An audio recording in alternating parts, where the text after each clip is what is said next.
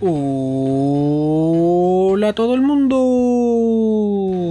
Sean bienvenidos en una nueva oportunidad a este canal Proyecto Chile. Como es tradicional, hay algunos videos en los cuales relato algunos proyectos de ley, pero en esta ocasión quiero concentrarme en qué consiste en específico. Ley en 18.056 establece normas generales sobre otorgamiento de pensiones de gracia por el presidente de la República. Debido a que, como se los consigné en un tweet de nuestro canal Proyecto Chile, que es arroba canal proyecto, durante la última sesión que se suscitó durante el mes de enero en nuestra Cámara de Diputados fue a promulgación Proyecto de ley que modifica la ley número 18.056, que establece normas generales sobre otorgamiento de pensiones de gracia por el presidente de la República, para incorporar específicamente a los hijos de personas fallecidas por COVID-19. Boletín número 14.489-06. Aquí en este video corto relato la tramitación, cómo fue aprobado este tema y en el video también destaco cuáles fueron los proyectos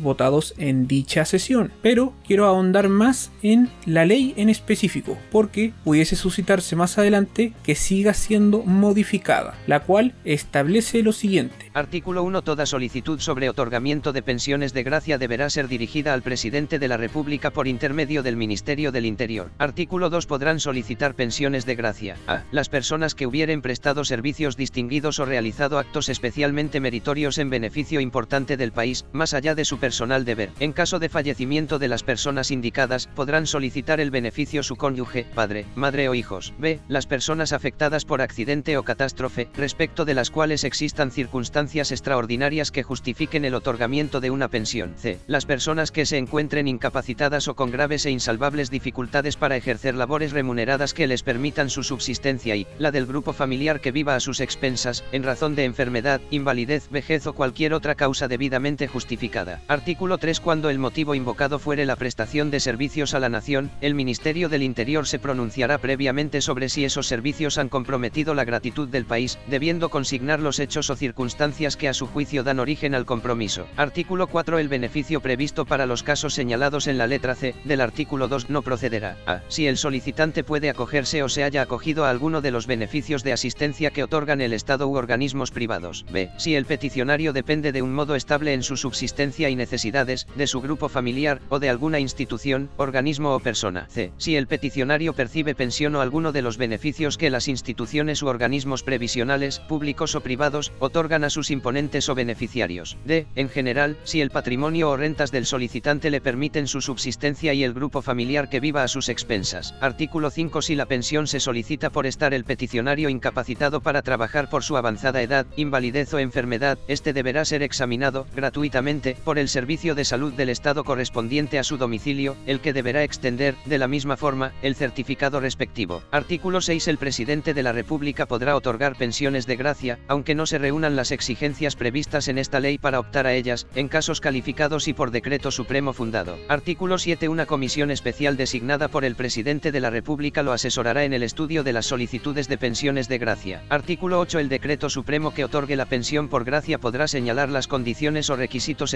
de plazo u otras exigencias a que se subordine la vigencia del beneficio. Y en esta modificación en específico que fue aprobada por nuestro Congreso pasa lo siguiente. Artículo único. Agrégase un artículo transitorio, nuevo, en la ley 18.056, que establece normas generales sobre otorgamiento de pensiones de gracia por el presidente de la República, del siguiente tenor. Artículo transitorio podrán invocar la causal contenida en la letra B, del artículo segundo, durante el año 2022, los menores de edad o las personas hasta los 24 años si se mantienen como estudiantes regulares, en cualquier nivel, en instituciones o establecimientos educacionales reconocidos por el Estado, cuyos cuidadores legales hayan fallecido por causa del COVID-19, a contar de marzo de 2020, de acuerdo a la forma y condiciones que establezca un decreto del Ministerio del Interior y Seguridad Pública, suscrito además por los Ministerios de Hacienda, de Desarrollo Social y Familia. El otorgamiento de este beneficio no será incompatible con ningún otro beneficio o prestación de seguridad social. Por lo tanto, si ustedes